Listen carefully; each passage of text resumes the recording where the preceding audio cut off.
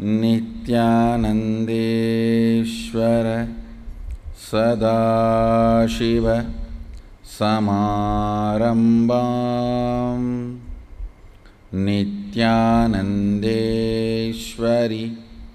आदिशक्तिमध्यमाम्।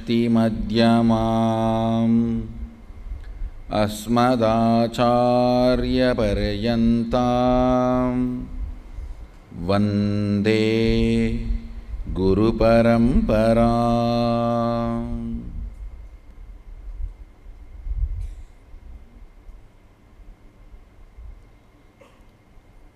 உங்கள் அனைவரையும் வணங்கி வரவேற்கின்றேன்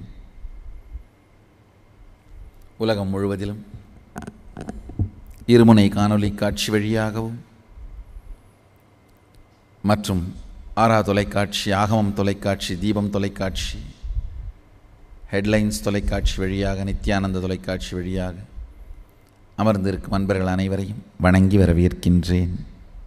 இன்றைய சத்சங்கத்தின் மொத்த சாரத்தையும் இந்த ஒரு வரியில் சொல்லிவிடுகிறேன் கேளுங்கள். மூன்றே மூன்று வார்த்தைகள்.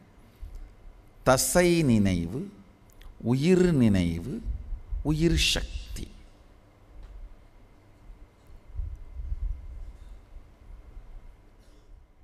மிக அருமையாக அவை பிராட்டியார் திருவள்ளுவ நாயனாருடைய தமக்கை அவை பிராட்டியார். அணுவுக்கும் அணுவாய் அப்பாலுக்கும் அப்பாலாய்.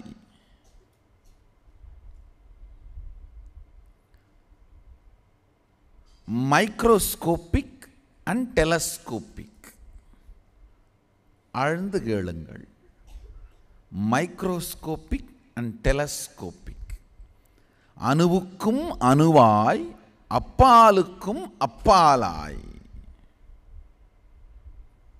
அருமையான வார்த்தையை அவிபிராட்டியார் விநாயகர் அகவலிலே சொல்லுகின்றார். அடுத்து தொடர்ந்து பாடுகிறார். கணமுற்று நின்ற கரும்புளே காட்டி. வேடமும் நீரும் விளங்க நிறுத்தி கூடுமை தொண்டர் குழாத்துடன் கூட்டி அஞ்சக்கரமும் மங்குசபாசமும் நெஞ்சில் நினைகொண்ட நீலமேனியும் நான்ற வாயும் நால் இரு புயமும் மூன்று கண்ணும் மும்மதச் சுவடும் திரண்ட முப்புரி நூல் திகழ் ஒளி மார்பும் சொற்பதங்கடந்த துரியமெஞ்ஞான அற்புதம் நின்ற கற்பகக்களிலே தொடர்ந்து பாடுகிறார். இந்த ஒரு வார்த்தை இந்த ஒரு சொற்றொடரை புரிந்து கொள்வோம் நம்முடைய தினசரி வாழ்க்கையிலே நாம் செய்கின்ற எல்லா செயல்கள் அது சார்ந்த நினைவு தசை நினைவாக நமக்குள் இருக்கும். மசில் மெமரின்னு ஆங்கிலத்தில் சொல்லலாம். காலையில் எந்திரிச்ச உடனே எப்படி எந்திரிக்கிறீங்க? எப்படி குளிக்க போகிறீங்க எப்படி பல் விளக்குறீங்க? உங்களுடைய தினசரி நடவடிக்கை எல்லாமே உங்களுடைய உணவு உண்ணுகிற விதம். உணவை ஜீரணிக்கின்ற விதம்.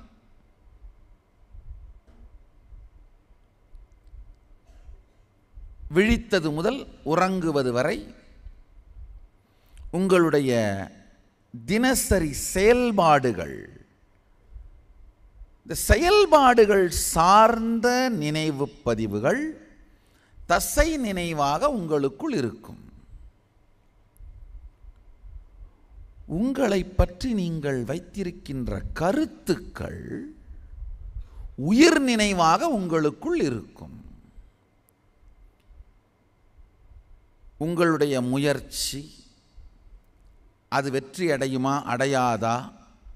உங்கள் வாழ்க்கையின் போக்கு எப்படி இருக்கும்? இதை பற்றியெல்லாம் நீங்கள் சில கருத்துக்களை கோர்த்து வைத்திருப்பீர்கள். உங்களை பற்றிய முடிவுகள் உங்களை சுற்றி இருக்கும் நபர்கள் மற்றும் பொருட்களை பற்றிய முடிவுகள் ஆழ்ந்து கேளுங்கள். இந்த உலகம் இயற்கை இதை பற்றிய முடிவுகள். இறைவன் இதை பற்றிய முடிவு. நாம் நம்ம வாழ்க்கையில் பல்வேறு அனுபவங்கள் காரணமாக நம்முடைய சொந்த அனுபவங்கள் மற்றவர்கள் அனுபவங்களை கேட்டுக்கொண்டு அறிதல். இதன் காரணங்களால்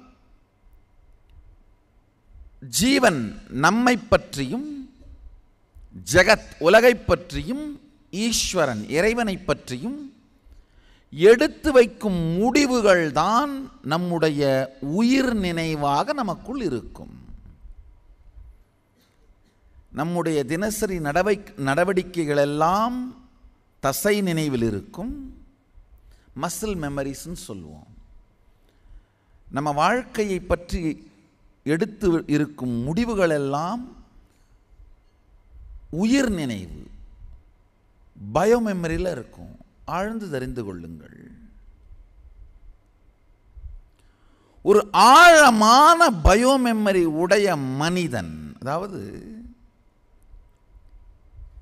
நிறைய முடிவுகளை எடுத்து வைத்திருப்பது நம்மை பற்றியும் உலகை பற்றியும் கடவுளை பற்றியும் நிறைய முடிவுகளை எடுத்து வைத்திருக்கின்ற மனிதன் வாழ்க்கையில் ஒரு ஆழமான வாழ்க்கையை வாழ்கிறான். நான் நல்ல நான் சொல்கிறது ஆழ்ந்துக்கிளுங்க நல்ல முடிவுகளை எடுத்த மனிதன் நான் சொல்லலை. நிறைய முடிவுகளை எடுத்த மனிதன் சொல்கிறேன் ஏன்னா அணுவுக்கு அணுவாக இருக்கின்ற எல்லா பொருளை பற்றியும் அப்பாலுக்கு அப்பாலாய் இருக்கின்ற எல்லா பொருளை பற்றியும் அதிக முடிவெடுக்கும் பொழுது சரியான முடிவாக மட்டும்தான் அமையும்.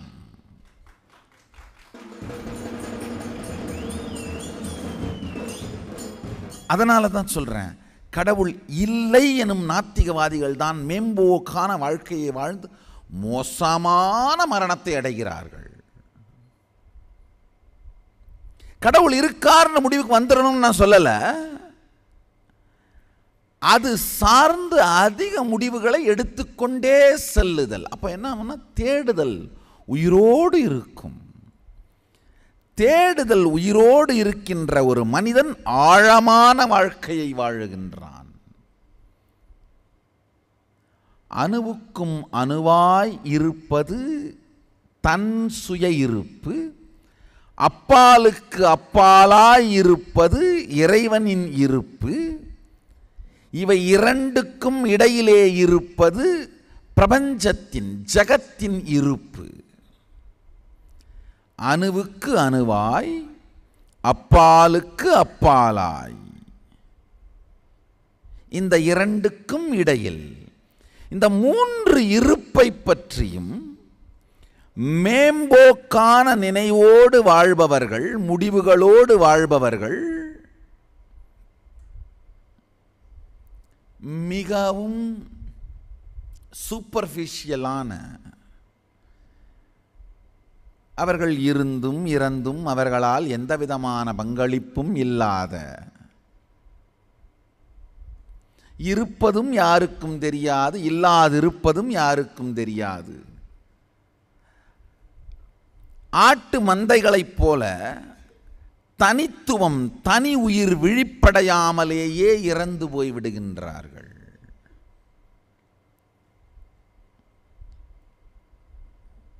மீண்டும் சொல்லுகின்றேன் ஆழ்ந்து கேளுங்கள். அறிமுகப்படுத்தும் போது மூணே மூணு வார்த்தையை தான் சொன்னேன். தசை நினைவு உயிர் நினைவு உயிர் சக்தி. அணுவுக்கும் அணுவாய் அப்பாலுக்கும் அப்பாலாய்.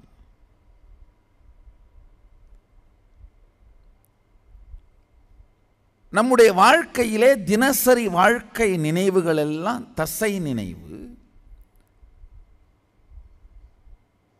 ஒவ்வொரு தினசரி வாழ்க்கை நடவடிக்கையும்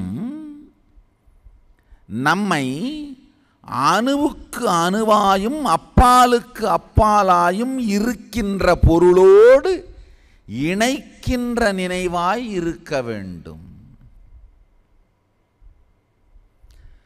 சாதாரண பல் துலக்கும் செயல் உணவு உண்ணும் செயல் நீரருந்தும் செயல் இந்த சாதாரண செயல்கள் கூட வாழ்க்கையின் ஆழத்தை நாம் அனுபவிப்பதற்கு வழிகாட்டும் தியானமாக நிகழ முடியும்.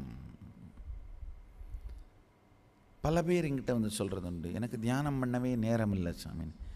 தியானம் செய்ய நேரம் தேவையில்லை காலம்தான் வேண்டும். நேரம் வேறு காலம் வேறு.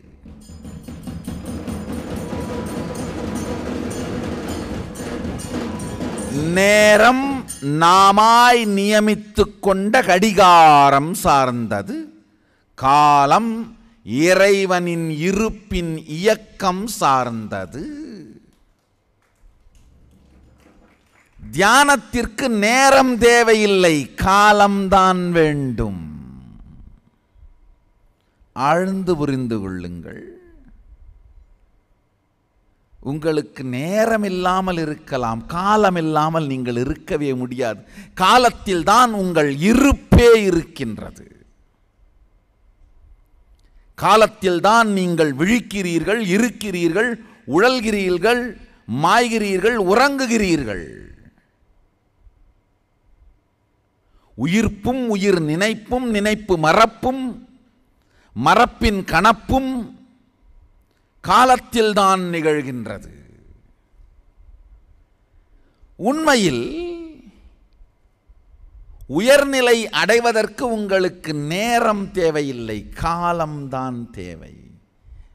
காலத்தை நேரமாக தரம் குறைப்பதுதான் மனிதன் செய்யும் தனக்குத்தானே செய்து கொள்ளும் மிகப்பெரிய துரோகம். காலம் வாழ்க்கை நேரம். உங்கள் வாழ்க்கை சமூகத்திற்காக குறைக்கப்படும் அல்லது சீரழிக்கப்படும் அழகு. ஆழ்ந்து புரிந்து கொள்ளுங்கள்.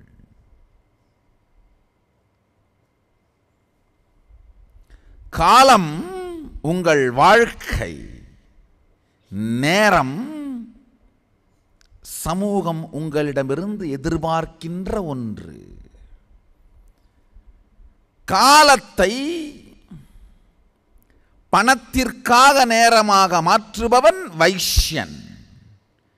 காலத்தை பதவிக்காக நேரமாக மாற்றுபவன் சத்திரியன் காலத்தை காரணமே தெரியாமல் நேரமாக மாற்றி குழப்பத்தில் இருப்பவன் சுத்திரன்.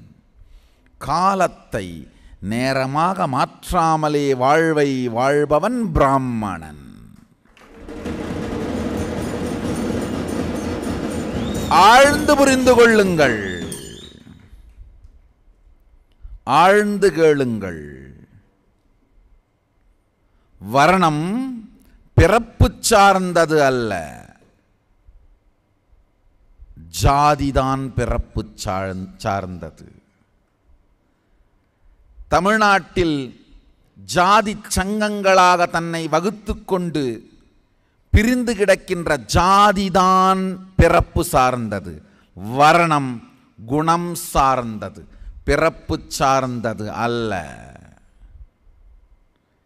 வைதீகத்தின் வர்ண தர்மம் ஆசிரம தர்மம் பிறப்பு சார்ந்தது அல்ல. சமூகத்தின் மிக இழிந்த பழக்கமான வேற்று சமயங்களின்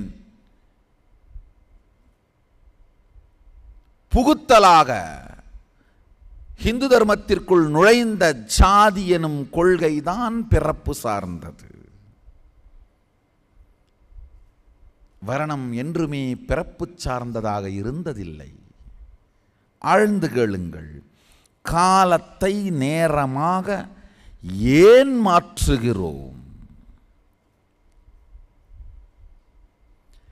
எப்பொழுது நம்முடைய நடவடிக்கைகளான தசை நினைவின் சாஃப்ட்வேர் ப்ரோக்ராமிங் மசில் மெமரியோட ப்ரோக்ராமிங்கும் பயோ மெமரி உயிர் நினைவோட ப்ரோக்ராமிங்கும் டியூனில் இல்லைன்னா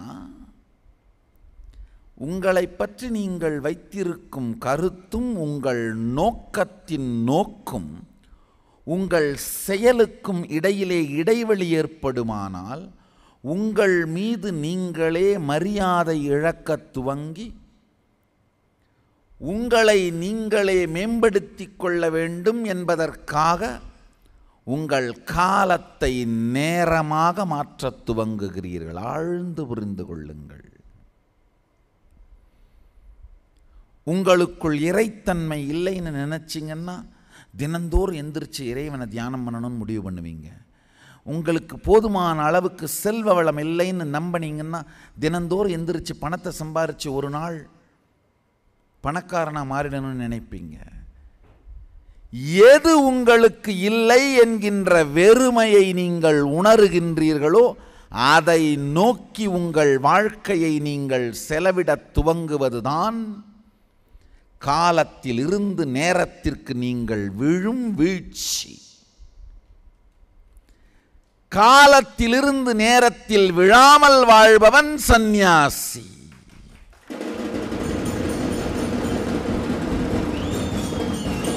ஒரு சந்நியாசியின் நேரத்திற்கு மதிப்பே கிடையாது. ஏனென்றால் அவன் அதை காலமாக பார்க்கின்றான். ஆழ்ந்து கேளுங்கள்.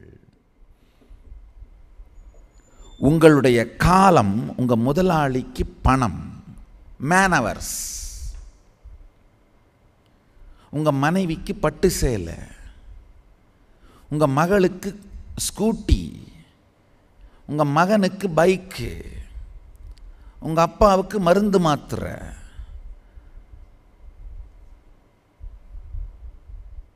ஆனால் உங்கள் காலம் உங்களுக்கு வாழ்க்கை. காலம் நேரமாக மாறாமல் வாழ்பவன் சந்நியாசி.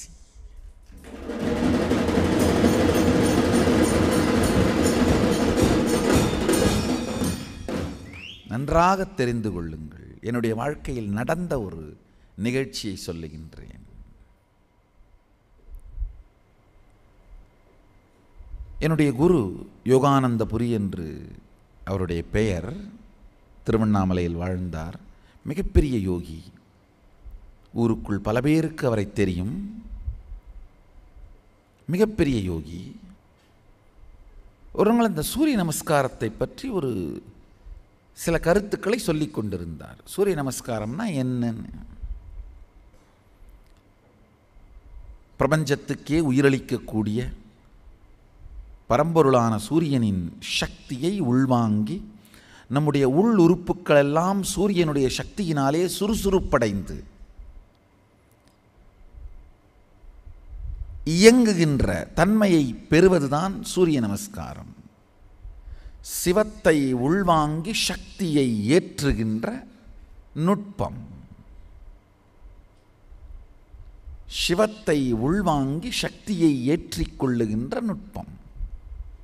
ரொம்ப அருமையாக சொல்லிக் கொண்டிருந்தார்.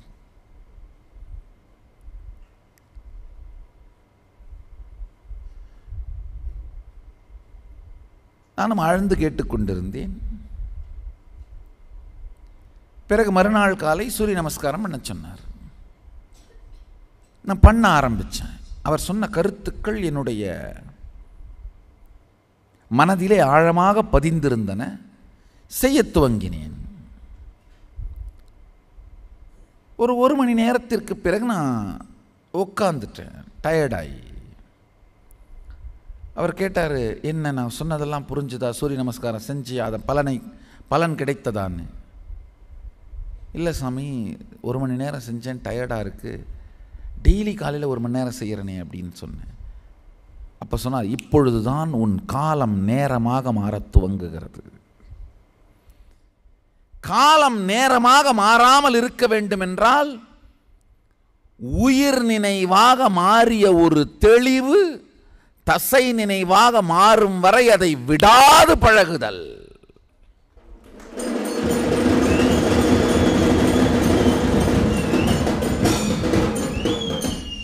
நான் சொன்னேன் என்ன சாமி சொல்கிறீங்க புரியலையே. அருமையாக சொன்னார். சூரியனை நோக்கி இந்த நமஸ்காரத்தை செய்தால் அவருடைய சக்தி உயிர்த்தன்மை உள் சென்று நம் உடல் உறுப்புக்களை எல்லாம் சக்திமயமாக்கும். இதுதான் சத்தியம்.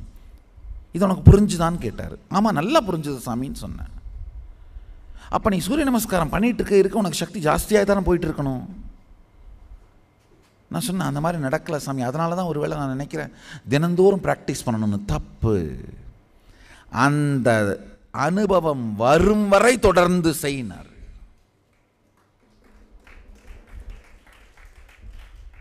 எப்பொழுது உயிரிலே பதிந்துவிட்ட அறிவு நினைவு தசையின் நினைவாக தினசரி அனுபவமாக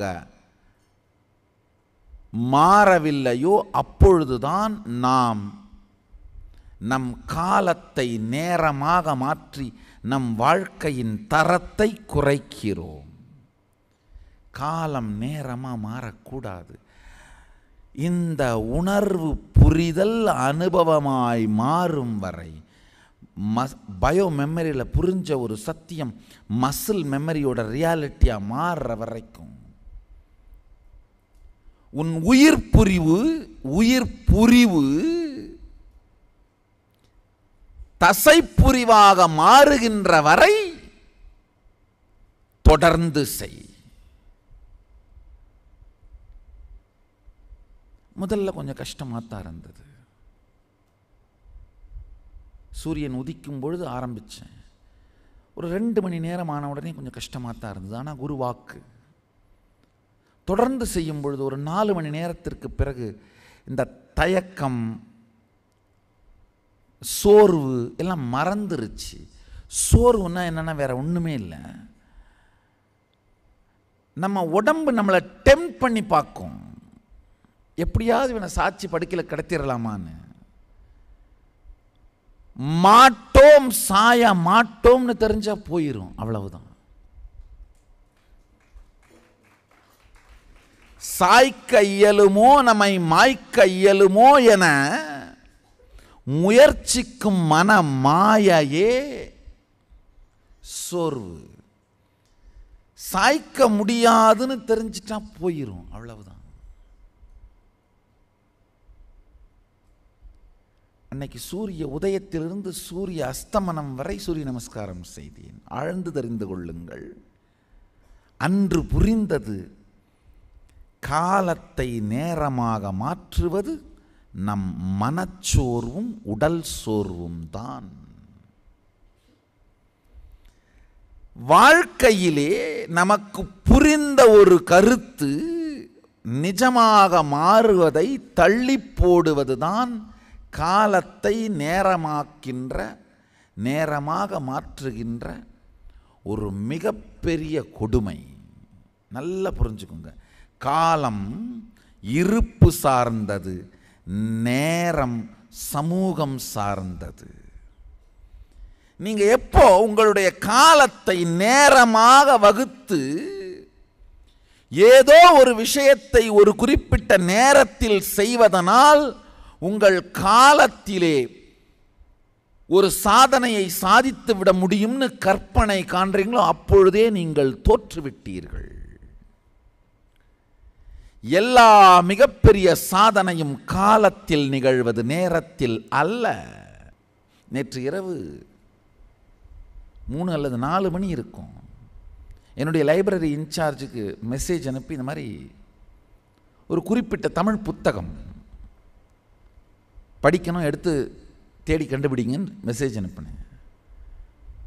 அவங்களும் மெசேஜை பார்த்துட்டு எத்தனை காப்பி வாங்கணும் சாமின்னு கேட்டாங்க. இல்லை நம்ம லைப்ரரியில் இருக்க எடுத்துகிட்டு வாங்க. கொஞ்சம் நேரம் கழித்து கண்டுபிடிச்சிட்டா எங்கே கொடுக்கணும் சாமி? கோர்ட்டியலில் கொடுத்துருங்க. கொண்டு வந்து அதை படித்து முடிச்சுட்டு தான் இப்போ இறங்கி வர்றேன்.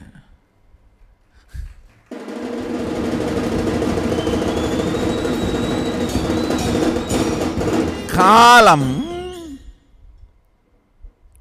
நேரமாக மாறாமல் இருக்க வேண்டுமென்றால் தள்ளி போடுவதை நிறுத்துங்கள்.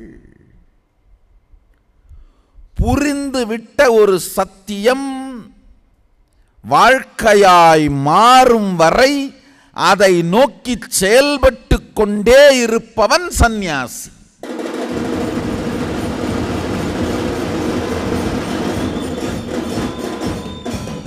அவனுக்கு காலம் வாழ்க்கை. நேரம் வாழ்க்கையல்ல. நல்லா புரிஞ்சுக்குங்க. காலத்தை காசுக்காக நேரமாய் மாற்றுபவன் வைஷ்யன் காலத்தை பதவிக்காக நேரமாய் மாற்றுபவன் சத்திரியன் காலத்தை காரணமில்லாமல் குழப்பத்தால் நேரமாய் மாற்றி அதையும் மீனடிப்பவன் சூத்திரன். காலத்தை நேரமாக மாறவே விடாமல் காலமாகவே வாழ்க்கையை வாழ்பவன் சந்நியாசி.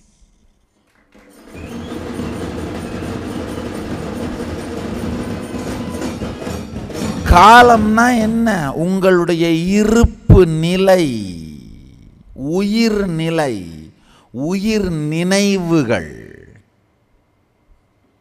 நேரம்னா என்ன? உங்கள் தினசரி வாழ்க்கை அட்டவணை. காலையில் எந்திரிச்சு இந்த செயலை செய்யணும். அதுக்கப்புறம் இந்த மாதிரி இருக்கணும்.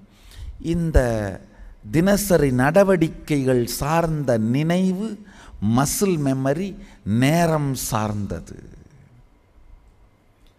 உங்கள் வாழ்க்கையை பற்றிய உயிர் நினைவுகள்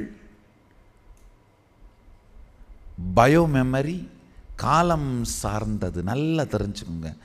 காலம் சார்ந்து ஆழமான முடிவுகளை எடுத்தவர்கள் நேரம் சார்ந்து செயலை செய்தாலும் செய்யாவிட்டாலும் உலகத்தின் மீது மிகப்பெரிய தாக்கத்தை ஏற்படுத்துவார்கள்.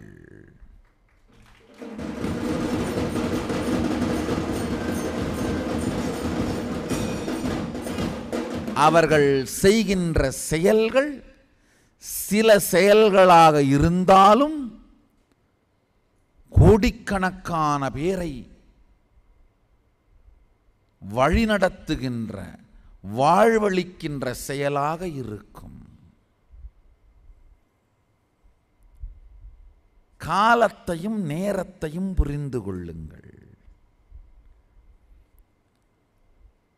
எப்போ நேரத்தின் கட்டுப்பாடுகளிலிருந்து உங்களை சுதந்திரராக பிரகடனப்படுத்திக் கொள்கிறீர்களோ அப்பொழுது நீங்கள் சந்நியாசி.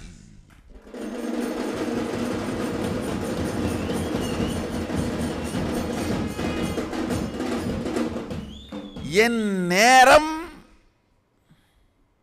யாருக்கும் சொந்தமில்லை. என் காலத்தை வளமாக்கிக் கொள்வதற்கே என் நேரம். என்று முடிவெடுத்தவன் சந்நியாசி.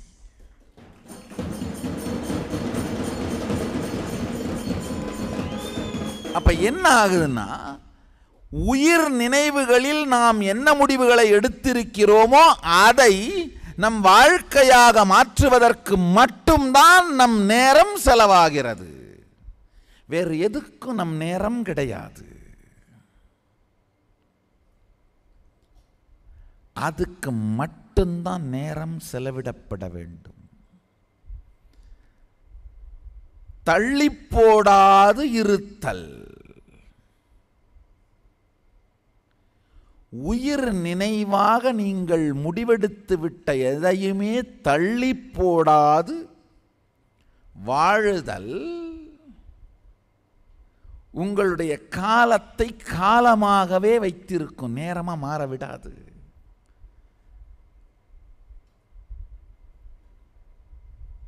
இந்த சூரிய நமஸ்காரம் பற்றி ஒரே ஒரு சிறிய நிகழ்ச்சியை சொன்னேன். என்னுடைய குருமார்கள் எனக்கு கொடுத்த பயிற்சியே காலம் சார்ந்தது நேரம் சார்ந்ததே இல்லை. ஒரு கருத்தை சொன்னால் அது புரிந்து நான் அதை தெரிந்து வாழுகின்ற வரை இன்னொரு நிகழ்ச்சிக்கு இன்னொரு செயலுக்கு போக விட மாட்டாங்க. நானும் போக மாட்டேன்.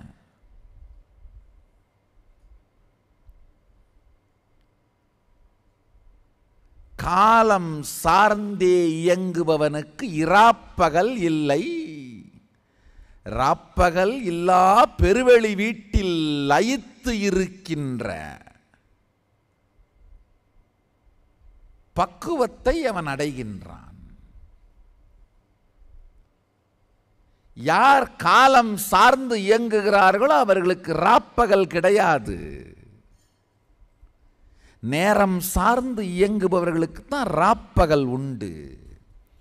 ராப்பகல் இருந்தால் நீ மனிதன்.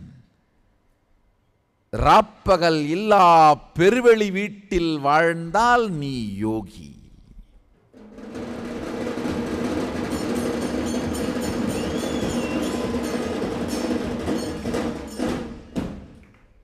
நேரம் பார்த்து தூங்கி நேரம் பார்த்து எந்திரிச்சான். போகி.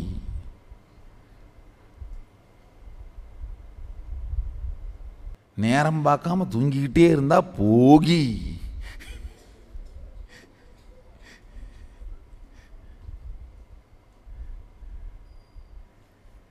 காலம் சார்ந்து வாழ்பவன் யோகி.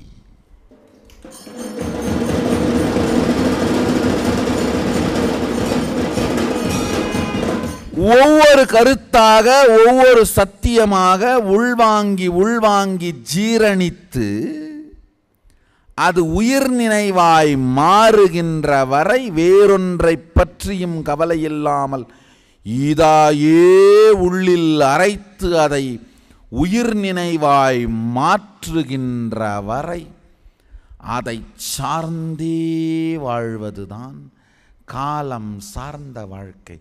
இந்த சுதந்திரத்தை நமக்கு நாமே கொடுத்துக்கிறது தான் ஆதீனவாசி வாழ்க்கை.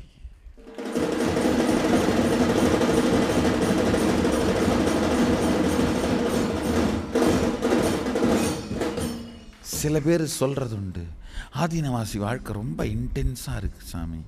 ராத்திரி பகலே தெரியாமல் வளரும். இது இன்டென்ஸான வாழ்க்கைன்னு சொல்கிறது கூட உண்மை கிடையாது.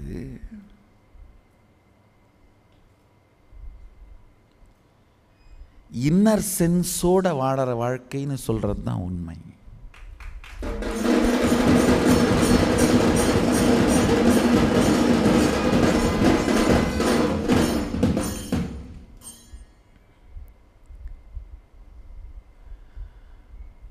நல்லா புரிஞ்சுக்கோங்க. நேரம் சார்ந்து இயங்கி பெரிய பெரிய விஷயங்களை சாதிக்கிறது வந்து படிக்கட்டில் ஏறி போய் நாற்பது அடுக்கு மாடியின் உச்சத்தைக்கு போகிற மாதிரி. காலம் சார்ந்து சாதிக்கிறதுங்கிறது லிஃப்டில் நானூறு அடுக்கு மாடிக்கு மேலே போயிடுற மாதிரி.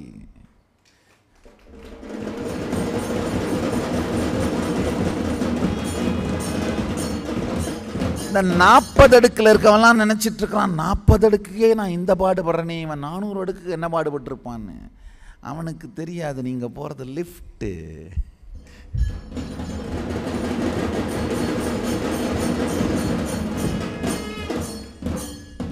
நேரங்காலம் புரியாதவன் தான் நேரங்காலம் தெரியாமல் வாழ்ந்துட்டு இருக்கான்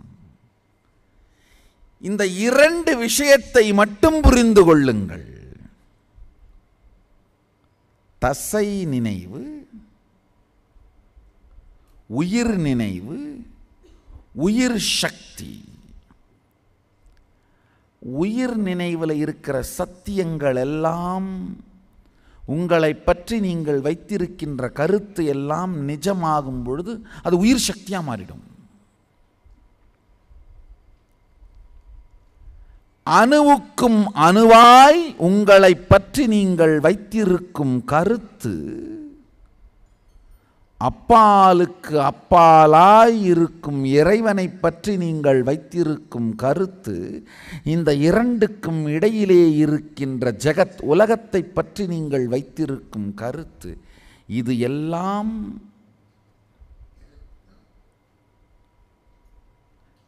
ஆழமானதாக மாறிக்கொண்டே செல்லுமானால் வாழ்க்கை திடமானதாகவும் கனமானதாகவும் இருக்கும். மேம்போக்கான ஆழமில்லாத வாழ்க்கையை வாழுபவர்கள் வெறும் நேரத்தில் சிக்கி நீசர்களாய் முடிகிறார்கள்.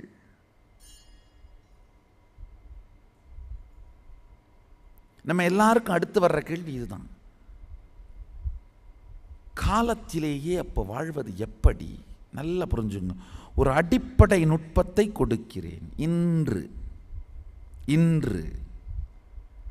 உங்கள் வாழ்க்கையிலே உங்களை பற்றி நீங்கள் வைத்திருக்கின்ற உயர்ந்த முடிவுகள் கருத்துக்கள் இவைகளையெல்லாம் நிஜமாக்குங்கள். தள்ளி போடாதீர்கள். பிளான் பண்ணாதீங்க.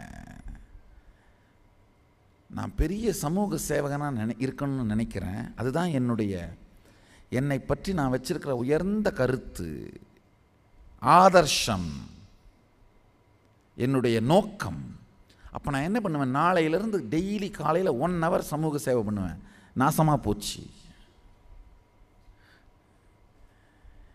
இந்த கருத்து நிஜமாகின்ற செயல்களை செய்து முடிக்கும் வரை வேறு எதை பற்றிய சிந்தையும் கிடையாது. தள்ளி போடுவது கிடையாது. பிளான் பண்ணாலே நாசமா போச்சு.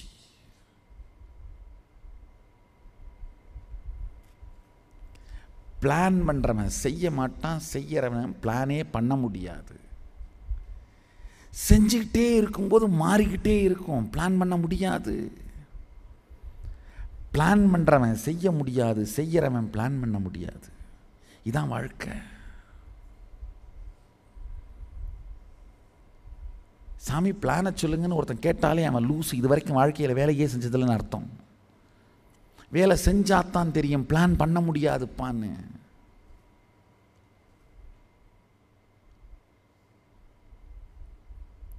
ஆழ்ந்து புரிந்து கொள்ளுங்கள்.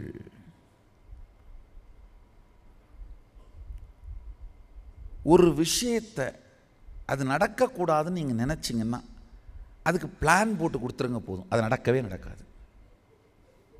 அது நாசமாக போச்சு. இப்போ நீங்கள் சமூக சேவகர் ஆகணும்னு நினைக்கிறீங்க. அதுக்கு பிளான் பண்ணுங்க போதும். நாசமாக போச்சு. கட்டாயம் ஆக மாட்டீங்க.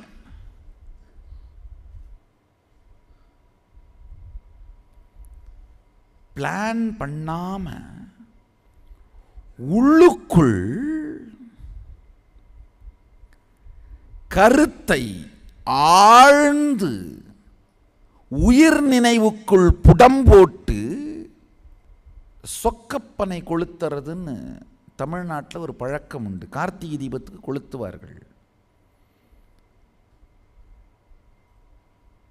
பனமரத்து பூவை பதமாக நெருப்பில் வைத்து பொடியாக அரைத்து சாக்கு துணியில் சுற்றி மூங்கில் கோல் இடை செருகி கரி நெருப்பை வைத்து கழட்டி சுத்தனா பொறியாக பறக்கும். அதுதான் சொக்கப்பனைன்னு சொல்லுவோம். கிராமங்கள்லாம் இன்னும் அந்த பழக்கம் இருக்கும். சொக்கப்பனை கொளுத்தல். கார்த்திகை தீபத்தப்போ செய்வார்கள். இந்த சொக்கப்பனை கொளுத்துறதுக்கு பனமரத்து பூவை புடம் போடுவார்கள். உள்ளுக்குள்ளேயே அதை எரிக்க வேண்டும். மொத்தமாக எரிஞ்சு சாம்பலாயிரப்படாது. அது மாதிரி ஒரு சத்தியத்தை உள்ளுக்குள்ளேயே வைத்து எரிக்க வேண்டும். புடம்போட வேண்டும். இப்போ சொக்கப்பனை நெருப்பு போல அது சார்ந்த உண்மைகள் நமக்குள் வெடித்து பொங்கி சுற்றி பறக்கும்.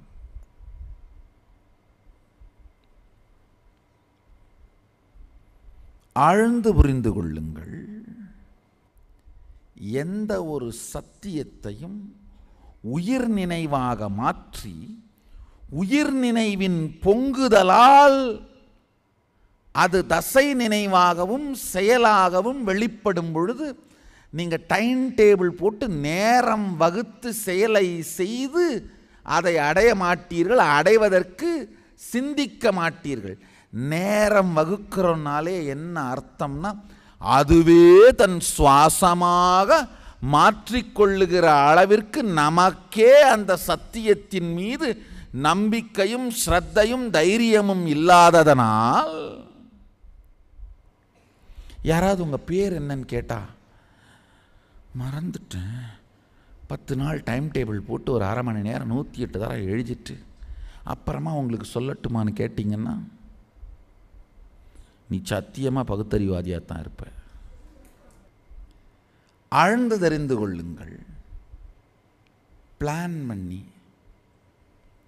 நேரம் ஒதுக்கி பயிற்சி செய்து முயற்சி செய்து இது மொத்தமுமே நடுத்தர வர்க்கத்தின் மன அமைப்பு. அதிலிருந்து இந்த அமைப்பு சார்ந்து பெருஞ்சாதனை செய்வதற்கான வாழ்க்கை மலர்ச்சி நடைபெறுவதே இல்லை.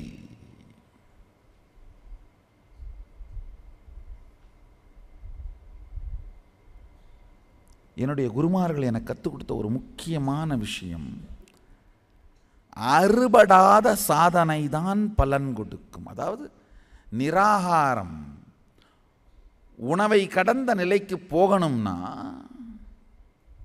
அந்த மூணு மணி நேரம் ஒன்றாவதுன்னு சொன்னாங்களே ஏதோ ஒன்று பிரேக்ஃபாஸ்ட் முடிச்சுட்டு கட்டிலில் படுத்துக்கிட்டு லஞ்சுக்கு முன்னாடி ஏஞ்சி உண்ணாவிரதத்தை முடிச்சுக்கிறது. அந்த மாதிரி எல்லாம் பண்ணால் அடைய முடியாது. நாம் என்ன பண்ணுவோம்? உடனே நேரம் போட்டு கரெக்டு டெய்லி ஒரு குறிப்பிட்ட நேரம் வச்சுட்டு அந்த நேரத்தில் சாப்பிடாம இருக்கிறது. அப்புறமா அந்த நேரத்தை அப்படியே அகலமாக்கிக்கிட்டே போய் ஒரு நாளைக்கு அஞ்சு மணி நேரம் அடுத்து ஒரு ஒரு மாதம் கழிச்சு அது ஒரு எட்டு மணி நேரம் அடுத்த ஒரு ஒரு மாதம் கழிச்சு பத்து மணி நேரம். இப்படியெல்லாம் யாரும் நிராகார நிலை அடைந்தவனே கிடையாது. இப்பொழுது முடிவெடுக்கின்றேன் அடையும் வரை இதுதான் வாழ்க்கை.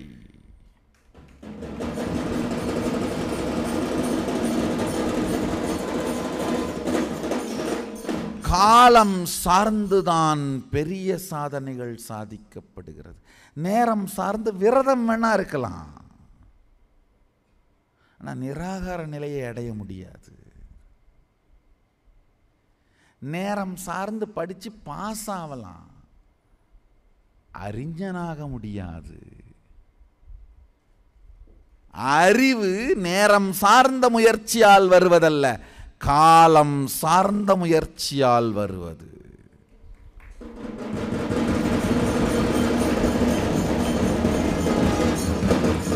ஒரு விஷயத்தை தெரிஞ்சுக்கணும்னு ராத்திரி மூணு மணிக்கு நினைக்கிறேன் அதை பற்றி கவலையே படாமல் உடனடியாக மெசேஜ் பண்ணி அந்த புக்கை கொண்டு வா.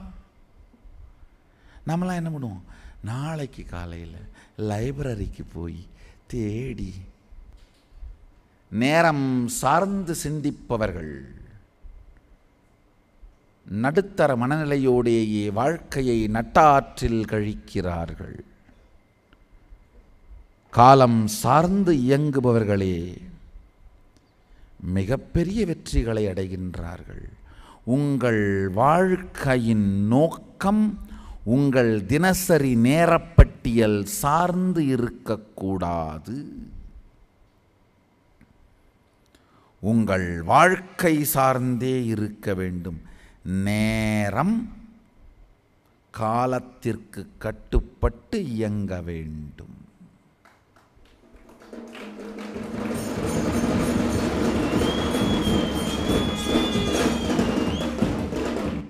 காலம் உங்கள் நோக்கத்திற்கு ஏற்றாற்போல் அகலமாகவோ குறுக்கமாகவோ மாற்றம் செய்யப்படும். நேரம் மாற்ற முடியாதது. ஏனென்றால் அது அளவு.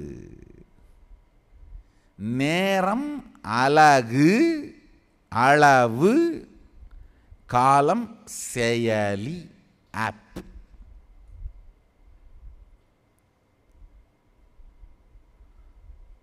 யூனிட்டே வேற. நேரத்துக்கு யூனிட்டு செகண்டு நிமிஷம் மணி காலத்துக்கு யூனிட்டு சிந்தனை வேகம் செயல் தெளிவு வாழ்க்கையின் நோக்கம். உங்க வாழ்க்கையோட நோக்கமே ஒரு வீடு ரெண்டு வீட்டுக்காரி மூணு காரு அவ்வளவுதான் அப்படின்னா அப்போ காலம் வந்து அவ்வளோ தேவையில்லையே. போதும் எழுபது வருஷம். உங்கள் நோக்கம் சார்ந்து காலம் விரியும். நேரம் விரிய முடியாது. நேரம் விரிய முடியாது காலம் விரிய முடியும். காலம் உங்கள் வாழ்க்கை. அதன் போக்கும் நோக்கும் உயிரும் உயிரின் உயிர்ப்பும் சார்ந்தது. நல்லா புரிஞ்சுக்குங்க. நேரம் சார்ந்து இயங்குனீங்கன்னா அறுபது வயசானா டயர்டாக ஆகணும் எழுபது வயசானா பெட்டில் படுத்தாகணும் எண்பது வயசானா இருமிக்கிட்டே இருக்கணும் சுற்றி இருக்கவங்களாம் ஏன் ஏன் இன்னும் போக மாட்டேன்னு போயிடணும் ஆனால் காலம் சார்ந்த வாழ்க்கை அப்படி அல்ல. நீங்கள் செய்ய வேண்டியதை செய்கின்ற வரை அமர்ந்து கொண்டே இருக்கலாம். அது ஐம்பதில் முடிந்தாலும் புறப்பட்டு செல்லலாம். நூற்று ஐம்பதில் தான் முடியும் என்றாலும் அமர்ந்திருக்கலாம். காலம் சார்ந்தது இருப்பின் இருப்பு. உயிரின் உயிர்ப்பு. நேரம் சார்ந்தது நிகழ்ச்சிகளின் தொகுப்பு. ஆழ்ந்து கேளுங்கள். இது ஆங்கிலத்தில் மொழிபெயர்க்கவே முடியாது. டிரான்ஸ்லேட்டர் சொன்னும் பண்ண முடியாது. இதை. இதை நானே டிரான்ஸ்லேட் பண்ணி சொன்னாதான் உண்டு. அவர்கள் கேட்ட மிச்சத்தை அவர்கள் வாயிலிருந்து வரும் எச்சத்தை வைத்து நீங்கள் புரிந்து கொள்வது துச்சத்தை கூட இருக்காது.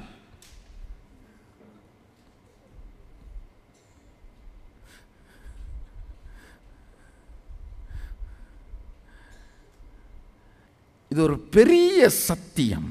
காலம் வேறு நேரம் வேறு. எங்கெங்கெல்லாம் நேரத்திலே நீங்கள் உங்கள் நங்கூரம் சிக்கிக்கொண்டு தத்தளிக்கிறீர்கள் என்று பாருங்கள்.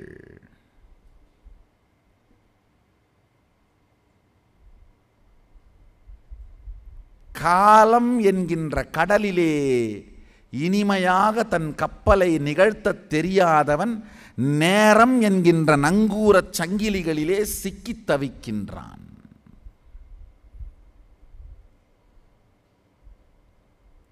காலத்தில் வாழுகின்ற தலைவனுக்கு நேரம் விடுதலை அளித்து விடுகின்றது.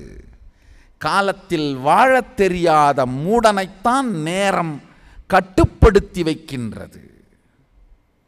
நேரத்தில் இருக்கும் நங்கூரங்களெல்லாம் எடுத்து விட்ட உடனேயே கட்டிலே கதின்னு கிடந்தா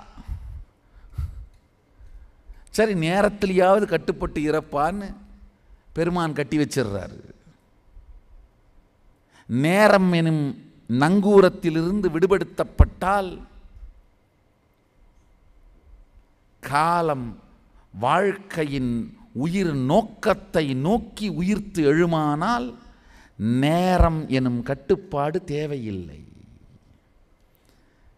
பக்தி மலர்ந்து விட்டவன் தினந்தோறும் குறிப்பிட்ட வேலையை வைத்துக்கொண்டு நீரூற்றி அபிஷேகம் செய்து முறைய பூஜை பண்ணணுன்ற அவசியம் இல்லை காலத்திலே மலராததனால்தான் நேரத்திலே சாதனை செய்தாக வேண்டியிருக்கிறது.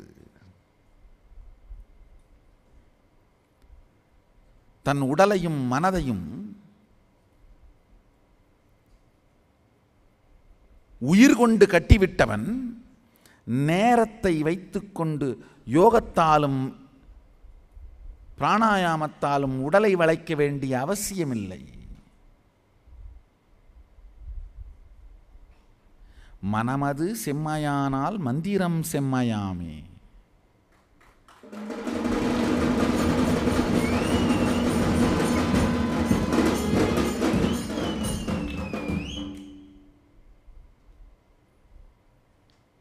இங்கே ஆகாததுனால தான் இங்கே கம்பத்து மேலேயும் கைத்து மேலேயும் கட்டி விட வேண்டியதாக இருக்கு. யார் காலம் சார்ந்து செயல்பட துவங்குகிறார்களோ அவர்கள் தலைவர்களாக மாறுகிறார்கள். அவர்களுக்கு நேரம் சார்ந்த எந்த கட்டுப்பாடும் இல்லை தேவையும் இல்லை.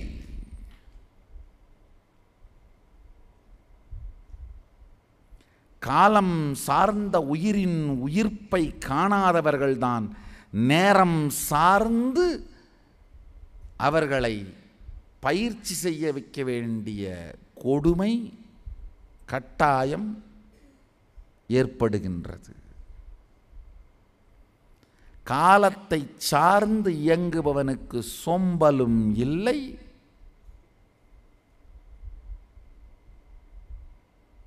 மனச்சோர்வும் இல்லை. அந்த சோம்பல் மனச்சோர்வை வெல்ல முடியாததனால்தான் நேரம் சார்ந்து ஒரு ரொட்டியினை போட்டு நம்ம நம்மளை நாமளே அரைக்க வேண்டியதாக இருக்கு. காலம் சார்ந்து வாழக் கற்றுக்கொள்ளுங்கள். கால பைரவன் அருள் கிட்டும்.